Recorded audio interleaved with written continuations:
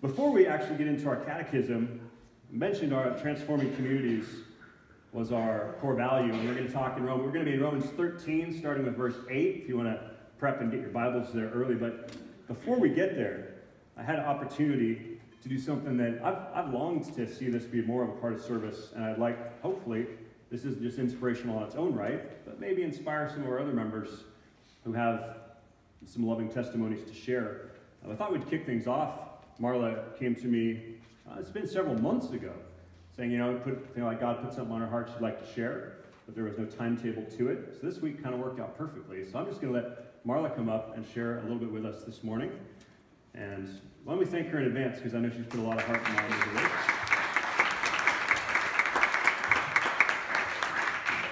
Going to have a seat. Wow, you guys are a transforming community.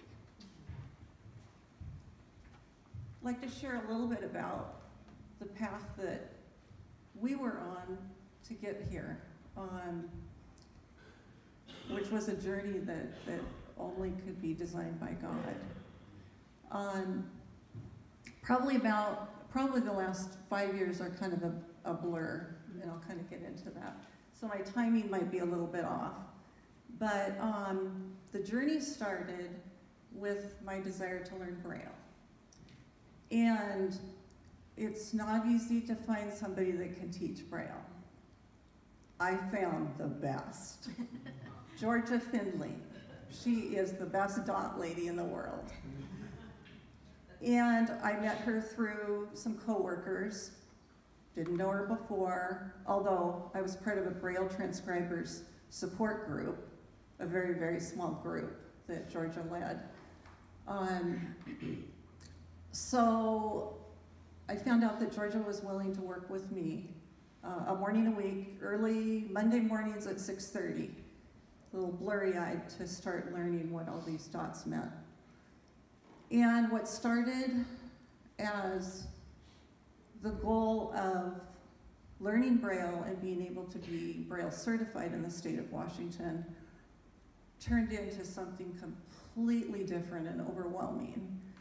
Um, I not only found the best teacher who knew how to teach me in the way that I learned, but I found an incredible friend, mentor, and sister in Christ. Um, back up a little bit, kind of going into this, my husband, Scott, has had cancer for 19 years. So this was kind of in the middle of it, maybe 10 years ago. And we were kind of going through a, a rough patch at that point with the cancer spreading. And there were times that I would come on Monday morning and Georgia would just look at me and just say, we need to pray. We need to pray. We can put the braille aside. We just need to pray. And her love and support just um, overwhelmed me. And we have continued all through these years with a very, very close relationship. I lost my mom years ago, and I feel like God gave me Georgia um, to fill my, fill my life. Um, so the goal was accomplished. I was able to be proficient in Braille and pass that darn um, Braille proficiency test for the state of Washington, which was a miracle. Without Georgia, it would never have happened. I wanted to quit all the time, but she kept giving me the homework and the encouragement and the love, and, and it finally happened after maybe a year and a half. It took a while. But God had a lot of work to do during that time. And we continued our friendship, and then about five years ago or so, um, was when Scott's blood cancer transformed into the brain and just turned our world upside down. And Georgia told me about a women's cancer support group here at Refuge and asked me if I would go with her to a meeting. And up to that point, I felt like I was living on an island. Um, just everything was turned upside down and, and at the same time trying to work full time and and do it all. And this group just came around me. Uh, Nurse Peggy, are you here? There's my Nurse Peggy, leading the group on which I had worked with Peggy many, many years ago. So after all these years, reconnected with her in this group. And they loved and supported me like I had never been in my life in a situation like that in a church. And we came to the point with, Scott was going through aggressive chemo treatment with the plan to do a stem cell um, collection followed by a transplant. And we didn't know how in the world we were going to be able to do that in terms of just just the expense alone, my taking time off work for the recovery period afterwards. And these women came together and put on a fundraiser in this church for us.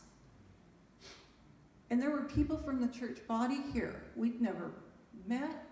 We had no clue. That was, that was one of the most transforming experiences, I think, for both Scott and I to be touched so deeply by God's love through this church. So the, the always hope, that, that was a symbol that um, a friend of mine who's a graphic designer put together at that time. And um, that was kind of the, the theme of the fundraiser. And enough money was raised to pay for everything. Hmm. Even the trips back and forth across the bridge, the gas, a month stay at Pete Gross House for the first part of recovery.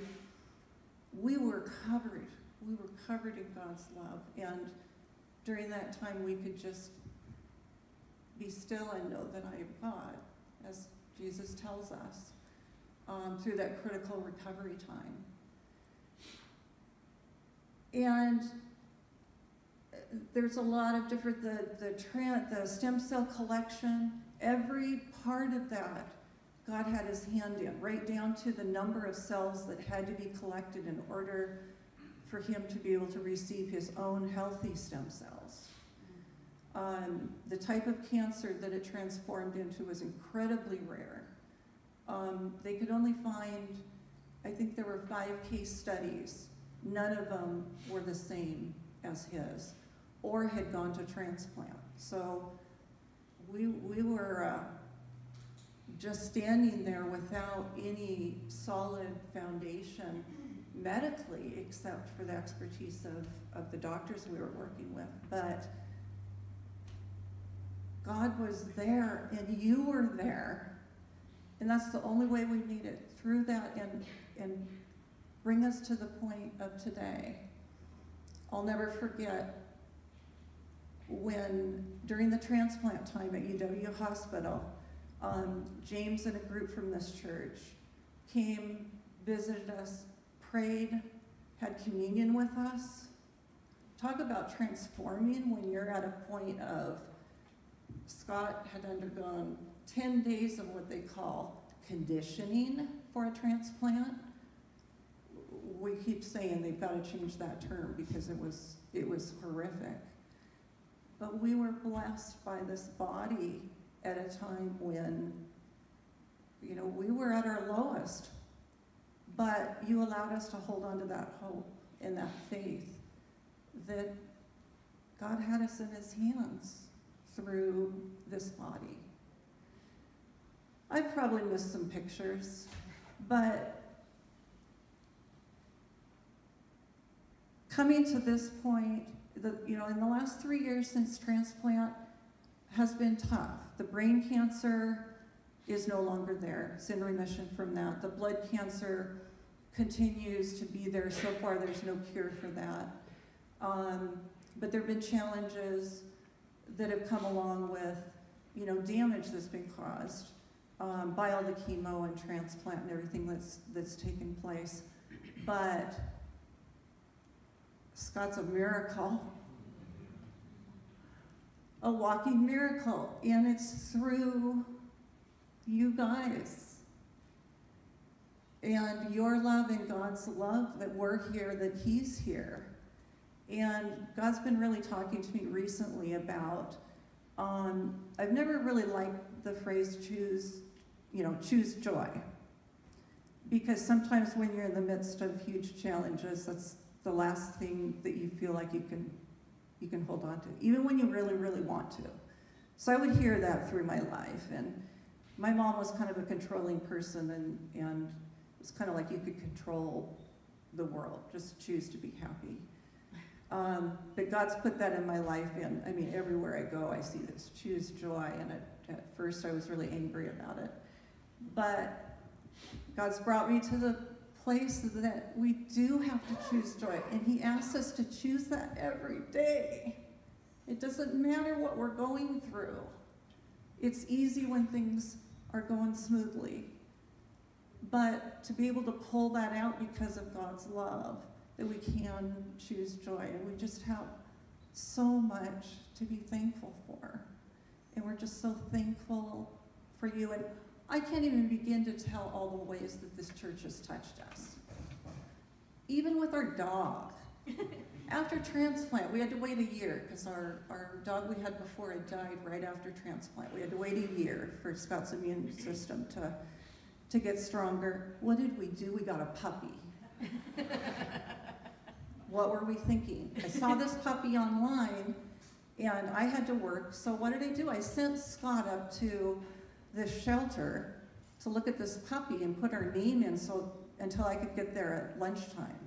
He really thought I was crazy because we were going to look for an older dog that just slept all the time. but we fell in love with, with this little um, cattle dog who herd us, herded us around our house for a year, um, but also brought us to a point where, uh, with Scott's health and my working full time, um, the care was just beyond what we could do physically. And God brought another miracle, a family that we knew that lived in our area that has a farm in Monroe. And they have taken him in. He can go back and forth. We can call and have him come over sleepovers anytime. and so, even in a small way, people from the church came and built a fence for us after we got him to keep him in the backyard. And that's just that's just one of many, many, many, many um, gifts that we've received and blessings um, from each of you. So I just want to thank you all, the Women's Cancer Support Group, Peggy, for all you do for all these women who either have experienced cancer themselves, they're going through cancer treatment, or you're a caregiver uh, the support is in, incredible, and that support is church-wide. You are a transforming church. There is light. There's healing. There's miracles here. Thank you so very much. And the last thing is that as far as choosing joy, I just have to say that a lot of things have happened in the last month. I met a wonderful woman where I work. It's just brought amazing miracles in my life.